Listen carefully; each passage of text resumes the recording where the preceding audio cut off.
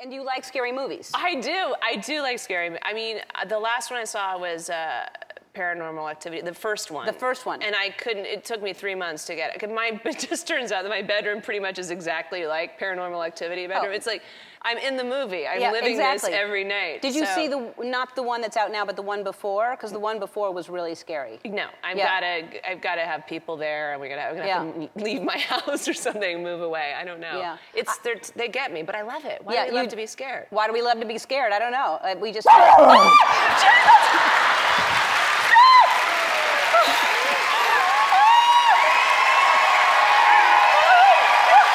I didn't think that was going to get you.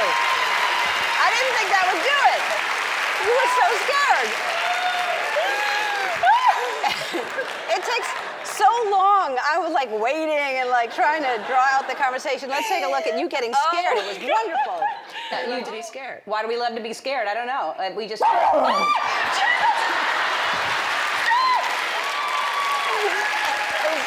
two-parter.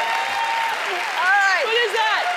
Pri- private practice. I don't know what that was. Private practice airs Tuesdays at 10 on ABC. We'll be right back. Kate Walsh.